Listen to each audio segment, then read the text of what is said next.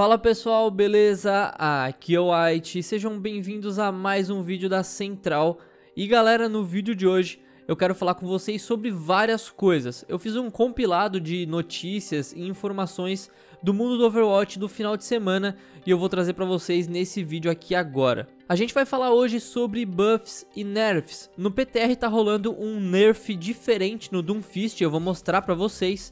E também, os desenvolvedores estão planejando dar um nerf também na Mercy. Ela acabou de ser modificada. Tá um fuzuê aí, a galera não tá gostando. Muita gente também tá gostando, então tá, tá meio que dividida a comunidade. Mas eles vão dar um nerf na Mercy, a gente vai falar sobre isso também. A gente também vai falar sobre bugs. Tá rolando um bug aí no Overwatch bem engraçado e eu vou mostrar também para vocês isso. E como a quinta temporada do Overwatch tá terminando e a sexta já tá chegando, a gente vai falar algumas coisas que vão mudar na sexta temporada também, que a gente não falou para vocês ainda que é novidade.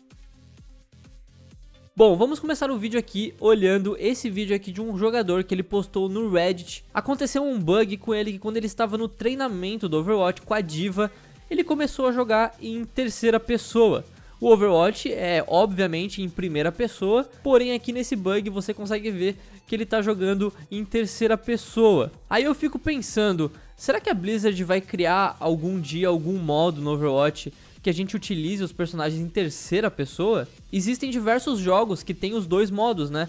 Por exemplo, o PlayerUnknown's Battlegrounds você joga em terceira pessoa, porém nesses últimos tempos aí eles lançaram um novo modo de jogo que é o modo em primeira pessoa. E isso é bem legal, você tem uma variedade aí de opções dentro do próprio jogo. Então a partir desse bug aí, tem uma boa ideia para Blizzard ela fazer aí talvez um modo em terceira pessoa. Ainda falando em primeira e terceira pessoa no Overwatch, vocês já pensaram a gente ter alguns tipos de emotes em primeira pessoa? Os emotes do Overwatch hoje em dia são em terceira pessoa. Você usa o emote, você consegue ver o personagem inteiro. Porém, um jogador teve essa ideia e postou no fórum oficial, falando assim: emotes em primeira pessoa parece legal. E o Jeff Kaplan apareceu nesse post e ele comentou que concorda, que parece legal. Então, quem sabe aí no futuro os desenvolvedores de Overwatch façam alguns emotes aí em primeira pessoa para o jogo.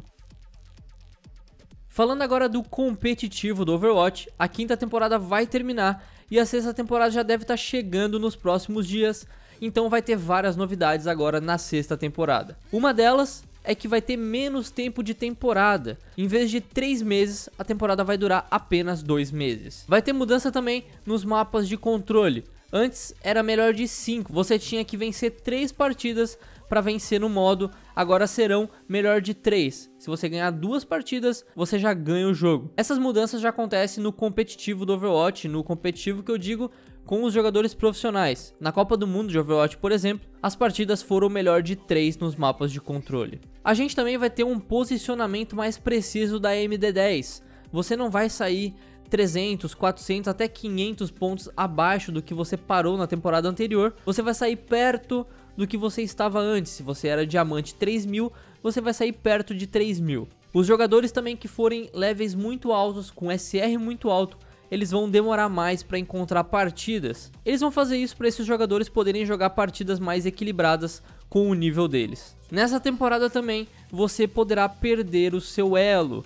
Antes, só era possível cair de elo se você fosse mestre para cima. Agora, qualquer tier, se você perder muitos jogos e cair, você poderá sim receber o elo abaixo. Passando agora para buffs e nerfs, vamos falar primeiro do Doomfist. Eu vou botar na tela para vocês uma comparação do servidor oficial com uma comparação do servidor do PTR, do servidor de testes. No servidor oficial, quando você usa o Doomfist para dar o soco, só que quando você vai dar o soco, você dá um pulo na hora que for soltar o soco, você consegue ir uma distância de 20 metros que é a distância normal se você usar o soco e não pular. Porém no PTR tá rolando um nerf, que quando você usa o soco do Doomfist sem pular, você consegue avançar os 20 metros. Porém, se você pular e usar o soco, você só consegue avançar 14, entre 14 e 15 metros. E isso afeta ele tentar pegar uma fara no ar quando ele estiver no high ground e etc. Além desse nerf, o Doomfist também já recebeu outra mudança que é na hitbox. Antes você usava o soco do Doomfist e acertava o personagem muito mais fácil. Agora, a hitbox dele diminuiu, então com o soco vai ser mais difícil de acertar. Eu já fiz um vídeo falando sobre isso, por isso que eu não vou me aprofundar sobre hitbox, etc. Eu vou deixar um card aqui caso você queira ver esse vídeo, é só clicar aí em cima. E chegamos finalmente na Mercy, acho que é um dos assuntos mais falados na semana, que é a Mercy e a Diva. Eu tô passando um vídeo pra vocês aí da Mercy utando, e olha o que, que ela consegue fazer quando ela uta. Em dourado, a Mercy ulta da base dela e consegue ir até a base inimiga com o seu ultimate. Em 20 segundos, voando, ela consegue atravessar o mapa inteiro.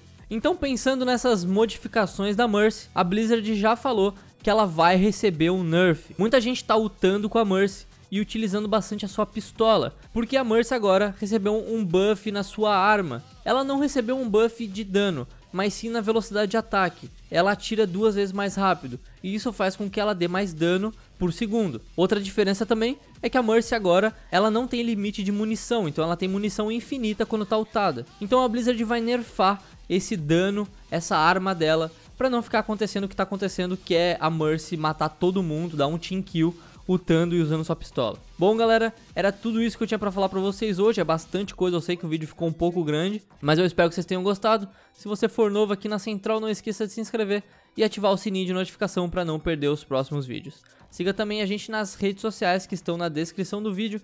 A gente tem o Instagram, o Facebook e o Twitter. Bom, galera, aqui quem falou com vocês foi o White e eu vejo vocês no próximo vídeo. Valeu, galera, tô indo nessa. Fui!